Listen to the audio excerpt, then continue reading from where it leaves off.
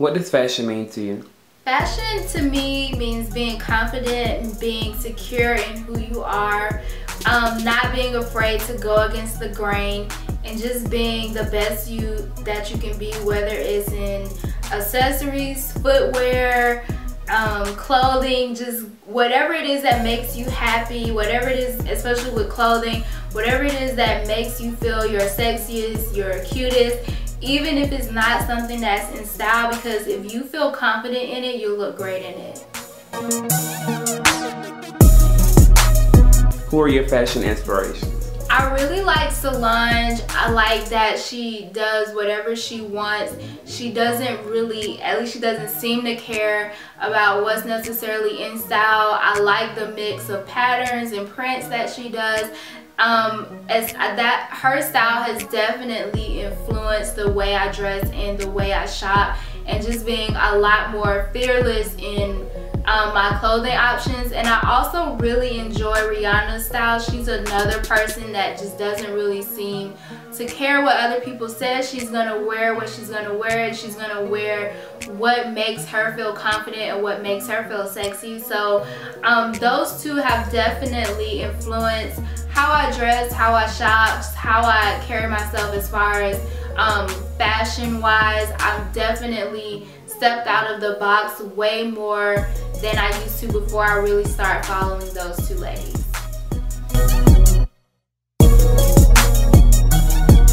Who is Ashley Udoh? Ashley Udoh is the girl next door the friend in every group that's loud and crazy and like always there for you. I'm so much more than a blogger and that's why I try to like not pigeonhole myself as just a fashion blogger. That's what I do the most but I also try to do the fitness and the food videos and the nails because there's like just so many more layers to me and I try to keep it as personal personable as possible because I really want to be like everybody's friend in their head kind of thing. So I would say Ashley Udoh is your friend. Explain the concept of thrifting and how it came into your life.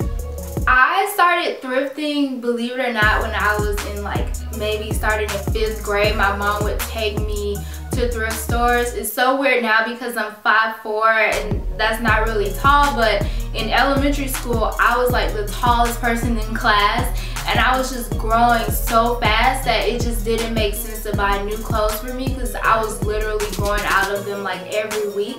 So we started thrifting and it's just kind of been something that stuck with me ever since. I love being able to go there and know that if I buy something, more than likely I'm not going to see anyone else with it. Um, it's usually a better quality because it's a lot of, it's a lot older than a lot of the stuff that you may buy from the stores that's in the mall so I really love that I can wash it and I don't have to worry about it falling apart um, I like that I can just like really be original I can find great brands and it's just it's just fun to me like being on the hunt and like rummaging through all of those like rags just to find like that one really cool piece that you just have to have.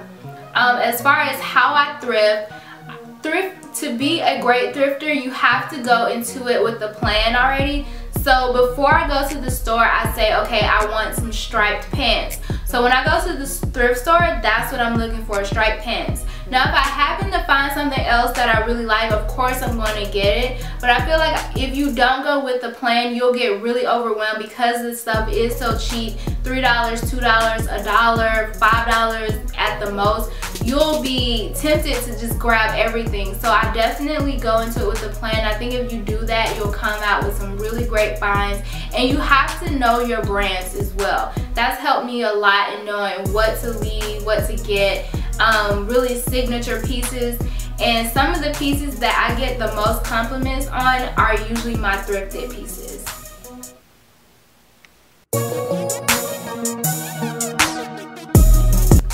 What do you think of artists such as Lady Gaga and Nicki Minaj that take fashion a little overboard?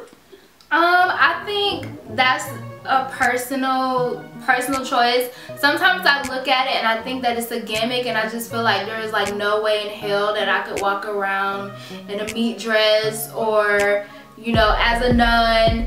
But it seems to work for them and so kudos to them. Like if you can commit to that i am impressed because especially being here in atlanta with like a hundred degree weather I just couldn't do it but I mean the fans seem to love it I don't think they take it I think we as the fans take it way more serious than they do I think they're just having fun and it's just like playing extreme dress up every day so go for it if that's what makes you happy. I'm all about just whatever you feel comfortable in. So if that's what they feel comfortable in, if that's what they like, kudos to them. It couldn't be me, but if that works for them, I'm all for it.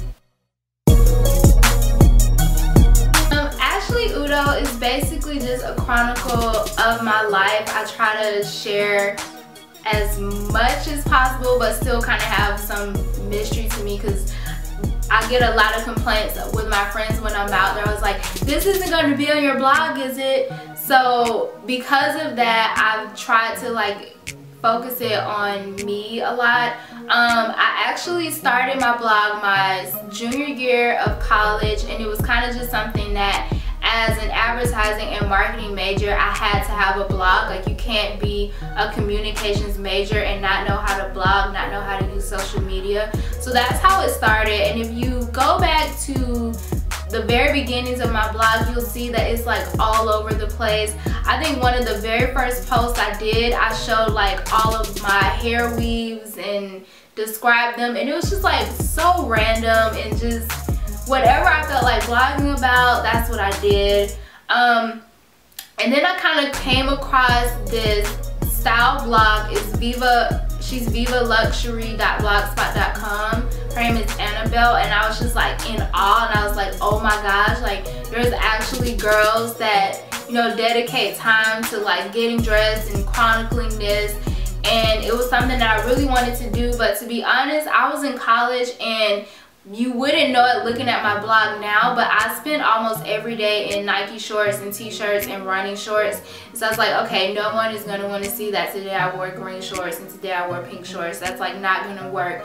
So it kind of died off for a while and then once I graduated it was something that I really wanted to try again. And it started out as like just for fun and then before I knew it I actually had people like commenting and visiting and when I didn't post I would get an email you know hey you haven't posted in a while. Are you still blogging? And then that's when I was kind of like oh my gosh like people are really paying attention to me.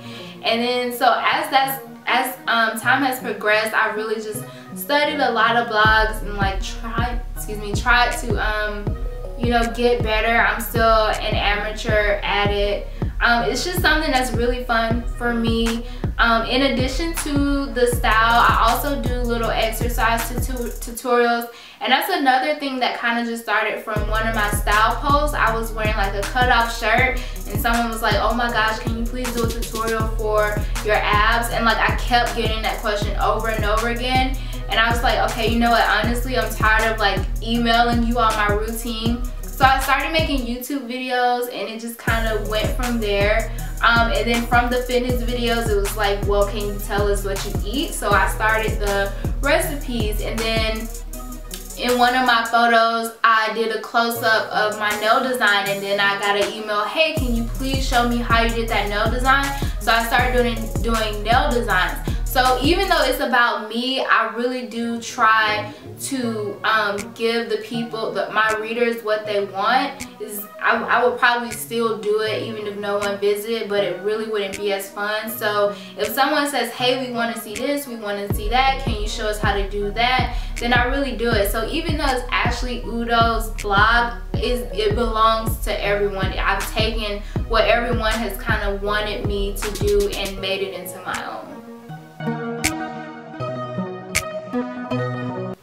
Speaking of fitness, do you have to be fit in order to rock good fashion? Hell no. You most definitely do not.